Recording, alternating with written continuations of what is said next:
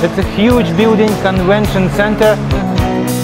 ATD draws learning leaders from around the world, concepts that are really thought leadership in advancements in learning. And so it's just a great conference.